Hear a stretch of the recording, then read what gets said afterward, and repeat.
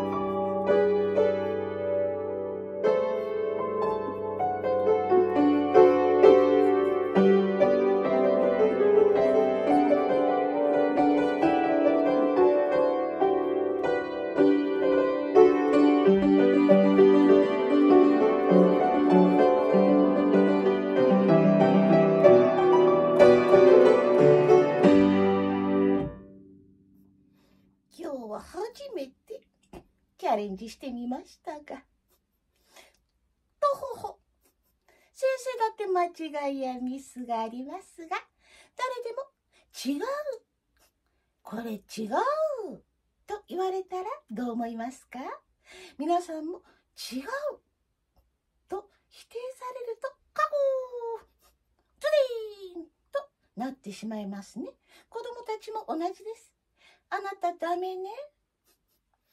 違うわよ。と言われたら、つこーとなってしまいます。少しずつ先生だってミスや間違いを重ねて初めて上手になるんです。ゆっくりリラックスして子供たちの力、能力を引き出してあげましょう。桃栗三年、柿八年。鶴は千年、亀は万年。先生も、化粧崩れに、日焼け。これから、もう少し自分もいたわってもいいかなと思っております。皆さんも自分を大切に扱う人も大切にいたわる気持ちを持ってみてください。先生もなるべく困っている人を見かけたら手を貸すように心がけるようにしております。なるべく自分も大切に扱う他人も大切にいたわりの言葉わからないことは調べる。疑問や好奇心を持つ子はどんどん伸びます。明日もよくの皆さんドレミのしりとり。遊びにかわいいイラストを描いてきてくださいね。炭治郎や禰豆子。何でもいいんです。自分の得意なことをセンス誰でも認めてもらうと嬉しいと思います。良い子の皆さんも得意なことを先生に見てもらう。誰でも自分のことを認めてもらうとまた頑張ろうと思います。それでは。